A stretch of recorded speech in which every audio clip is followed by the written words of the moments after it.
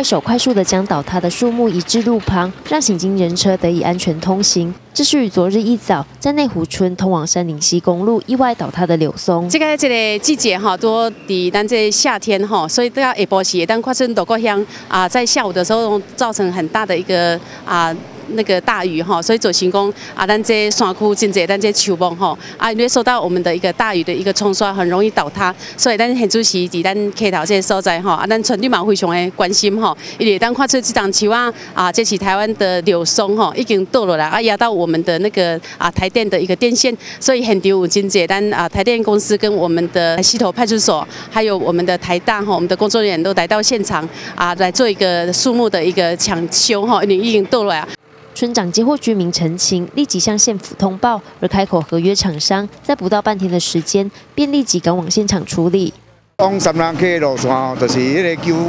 九五线吼，哎，这丛树啊，透早吼，哎，六点外倒去吼，哎，麻烦管府吼，哎，尽快紧落来处理吼，哎，感谢这议员啊，甲这大大吼，哎。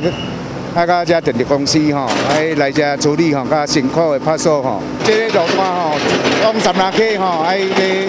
这车辆吼，哎是系非常的多。这路段吼，哎车辆真多吼，哎树啊倒落也真危险。哎呀，感谢吼，哎各府单位吼，哎赶紧来处理。因为是通往热门景点山林溪的公路，尽管是平日，来往车辆也不少。若遇上意外事故，行经此路段是险象环生。为此，议员许素霞呼吁，有类似状况应立即通报村里长。一旦看出游客嘛，真济直接咧行吼，所以真的是非常的危险。直接嘛非常感谢我们县府的开垦合约的厂商，因为那比如讲那像这些路段好的时阵，不管讲我们树木的一个倒塌，还是土石流的时阵，那那有灾害的时候，但船丢一定马上报到我们的县府，然后请开垦合约第一时间来到现场做一个抢救，把我们的一个灾害做到最小，这点是啊让我们肯定的一件事情吼。所以也在这都可以在波兄的咱家所有走路的这些啊人还是车哈，只有说稍微压到电线，然后这么。快来做一个处理嘛，非常感谢我们厂商，嘛感谢我们县政府的一个效率哈。此次事故，县府的处理效率是让议长何顺峰相当赞许。议长也期盼将来无论县内何处遇上类似事故，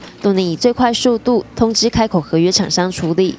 民选雄心一路股采访报道。